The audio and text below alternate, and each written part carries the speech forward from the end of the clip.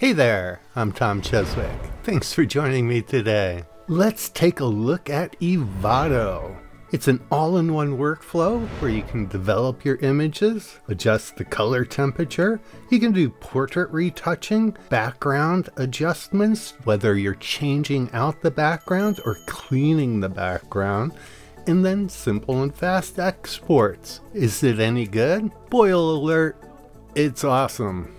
I'm going to give you six reasons why I decided to try it out, and I think you will want to as well. First off, you can download a free trial and test it out for yourself, including exporting some images so you can look at the final results. I'll have a link below where you can download Evoto. Reason 2, it's all non-destructive edits never degrades the original image. No matter what we try out, we can always revert it back and nothing has changed with the original image. Number three is the all-in-one workflow. It is so easy to navigate even if you're not familiar with the program. Have AI color looks, if you don't like that you can get rid of them. But then if you need to you can change the color, temperature, exposure, and all the other ones that we're all used to using in Lightroom and Adobe Bridge, Capture One, ON1 Photo, all the tools needed to get the base image how you want. Number four is pricing. They have a pay as you use it, where you buy credits and every time you export an image, you use up a credit. So you could play with this program on multiple images, never hit that export button in the upper right corner, and you haven't used any of your credits. A big advantage of this is you're always using the latest version since you're not buying the actual program. All updates are free, so you'll always have the latest, newest features. And when you do use a credit for an image, if you go back and re-edit that same file, the next time you export it, you don't use a credit either. So you could export 10 different variations of the same file and only use that one credit. Number five is so easy to navigate your way around. Up here we have the color adjustment panel, then underneath portrait retouching, background adjustments, which is amazing. We'll take a look at that. You can even touch up clothing and crop. So let's go into portrait retouching and we can manually adjust things as well. But let's take a look at some of these presets. Let's do high end and just like that it retouched all four of the cheerleaders. So if we come in, we can take a look at before and after by clicking on the little box here in the lower right corner.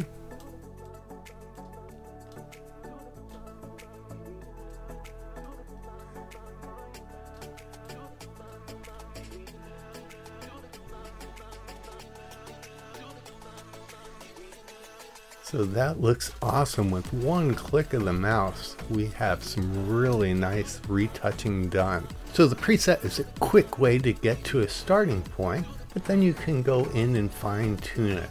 So if you wanted to retain freckles, you could come back and reduce that. If there was shine, remove face shine. That was nice there. So if we take a look again, before, after, did a great job on face shine. If we want to bring back some of those smile lines, we can do that as well. If we needed to whiten their teeth at all, we could do that with teeth whitening. And again, since we haven't hit export, we haven't used any of our credits yet. We could go into the background section and we could change the background so if we wanted pure white to match their uniforms, one click of the button and a very nice clean cutout, including with the hair. So if we like this look, we could one, save it as a preset. We could also sync it with our other images. So we could highlight all of those and then hit sync and it's going to apply whatever we want. And then it allows us to decide whether it's just the portrait retouching we want or backgrounds or clothing. So you can click on and off what you want done. So in this case, we'll just do the portrait retouching, hit save, and now the other images are all going to have that same look. If we look at the lower right corner, you can see it's applying all those settings to each of those images. So that's great, especially if you have a lot of images from a similar shoot, like you're photographing a high school senior. All you have to do is make one correction.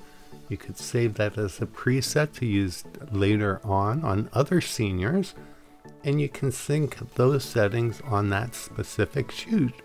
Quick, easy, fast, and efficient. All right, let's look at another reason where I love this program. So reason number six, the final reason is the retouching tools and the results are just amazing. Let's take a look at this image and we'll see how um, there was warping on the paper, so there's a weird line going through here. If we look real close, there's on white backgrounds, it's so hard to keep them clean. There's different things going on here. So if we go up to the background section and we go to clean solid backdrop, turn that on, one click of the button, it smoothed all of that out where it looks fantastic. Let's take a look at that on a different image. Here we'll see we have a cheer team and there's hair on the background. There's lots of scuff marks on the foreground going all through the paper. Um, some even in the background here. So let's take a look. Again, one click of the button and it's going to reduce just about all of that. Looks great. And even if it doesn't get something, like there's just a little hair here, the retouching tools are so easy to use. We'll come up to the band-aid icon in the upper left corner, the healing tool, click on that, and all you have to do is go quickly over the hair and it's instantly removed hit OK. And now we have a super clean background and everything looks fantastic. Let's take a look at how you can do everything yourself without using presets. Here is an image. Let's reset it. Go into color adjustments. Everything actually looks real good. One thing I don't like with Evoto is unless I'm doing something wrong, I have no way to see the RGB values. Normally when you are over the image, you would see it would help me adjust skin tones to the proper luminance. Okay, but let's take a look at this and just manually go through and do portrait retouching. And first part, blemish removal, we'll bring that all the way up. One thing that I really like about Evoto is it separates acne and freckles. Freckles and other things that are part of a person, I really don't ever remove. So I would bring those back. And if we take a look, it did a nice job, but it also removed some moles or beauty marks.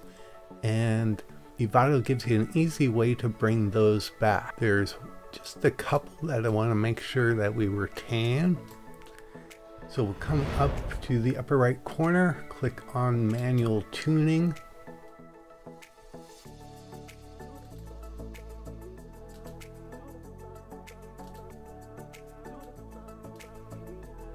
And just bring those back a bit. You can adjust the opacity to do it all in one click. I prefer to do it with several clicks and that looks great. Then on the right, there's breakdowns of more things. So for head wrinkles, eye wrinkles, we don't have real problems with that. Maybe dark underneath the eyes, we can just bring that up a small bit.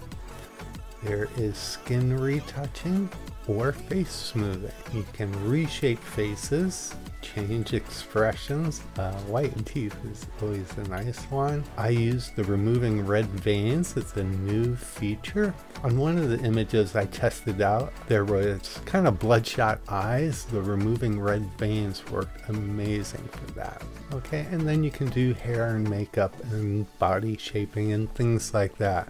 So this is looking really nice, beautiful skin texture. Everything looks great. There are any blemishes still in there, you can always come up to that healing brush, healing tool. Quick click. And that looks awesome. There's also a little hair going on her cheek. And just like that, we have an amazing retouched image. And then if we wanted to give her different looks for her headshot, we could go back into the background adjustments and change it out to a gray background. And even in the gap of her hair, it changes to gray as well. So it's a very nice cutout. Could have more of a studio look. And then there's just a ton of different looks here. And you can upload your own background. So a fast and easy way to get a lot of variety in your headshot looks without spending a lot of money on paper backgrounds. And it's so easy to come back and work on an image. Let's say we weren't happy with the high-end retouch, we could use one of the other presets. So we're going to reset all of the effects and let's do something just a little bit more natural. And let's change the background to match their outfits. That's looking pretty good. So once we have the image looking just how we want, all we need to do is go up to export and this will use a credit. It's going to move it into a subfolder of where the images already are and just like that hit export. And we're done. That fast. Evoto be sure to use the link below and give it a test drive. It's a free trial and you'll have some credits to export a few of your images and test out the results. Thanks again for joining me today. Hope you enjoyed the overview of Evoto if you did please give it a thumbs up and subscribe to my channel for future videos. If you have any questions, leave a comment below. Until next time, keep shooting.